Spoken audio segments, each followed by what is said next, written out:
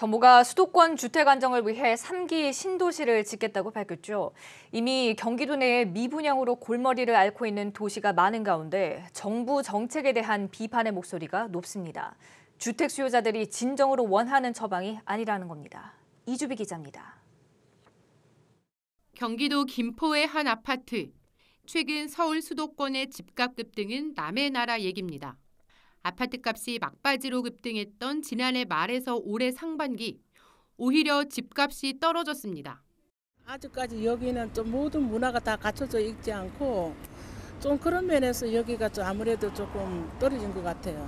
문화 시설이라든가 뭐 저기 학교도 좀 우리 사는 데나 학교가 좀 멀어요. 그리고 서울 한번 나가려면은 또 교통편이 좀 불편하고. 그거는 말이 안 돼요. 지금 여기 김포 신도시도 텅텅 비어 있는데 지금 집값도 마이너스 아직도 지금 에일리넷들 이런 거는 마이너스예요. 이기 신도시들은 진짜 다 아무 희망이 없죠. 지난 2016년 분양한 평택의 한 아파트. 내년 3월 입주를 앞두고 있는데 팔지 못한 물량이 20%나 됩니다. 평택에서만 1,100여 가구가 미분양으로 남아 있습니다. 수도권 아파트의 미분양 문제, 비단 이곳 평택뿐만은 아닙니다. 경기도 안성과 남양주, 용인과 김포에도 미분양 물량이 쌓여 있습니다. 이런 영향으로 경기도의 미분양 아파트, 특히 악성 미분양으로 꼽히는 준공후 미분양은 지난해 연말 이후 줄곧 증가 추세입니다. 경기도의 많은 아파트들이 미분양으로 남은 건 공급에 비해 수요가 따라주지 않기 때문.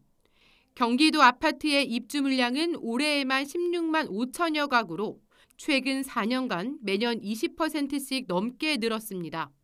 문제는 앞으로도 상황이 나아질 가능성이 적어 보인다는 겁니다. 정부가 신규 주택 공급을 위해 검토하고 있는 3기 신도시 대부분이 경기도에 위치하고 있기 때문입니다. 2기 신도시도 정착하지 못했는데 인근 지역에 새로운 신도시를 계획하다 보니 부정적 전망이 앞섭니다. 무엇보다 서울에 공급될 물량이 약 3만 가구에 불과합니다.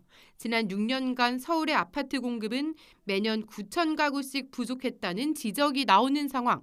그래서 아파트 공급량은 수요 대비 한 최근 6년간 한 5만 4천 호 정도가 누적 어, 공급 부족이 있지 않았나 평균. 그래서 아파트 공급이 줄어든 대신에 비아파트 특히 다세대 주택이 엄청 공급됐습니다. 서울에서는.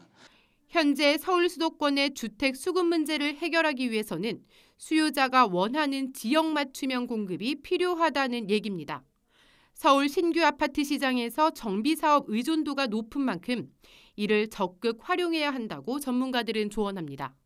그리고 시민들이 원하는 대규모 단지 아파트 같은 것들도 같이 병행해 나갈 필요가 있습니다. 그래서 꾸준히 신규 택지에 대한 공급도 해야 되고 그리고 이제 도시 재생을 통한 공급도 대폭 강화할 필요가 있습니다. 개발 이익 독점과 투기적 수요를 차단하고 공공임대주택을 확실하게 확보할 수 있는 정책이 반드시 뒤따라야 한다는 설명입니다. 한국경제TV 이주비입니다.